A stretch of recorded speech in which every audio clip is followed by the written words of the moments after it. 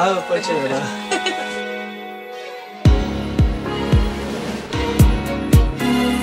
밥은 제때 먹는지 여자 멀리 하는지 온종일 네 옆에 있고 싶은데. 내가 그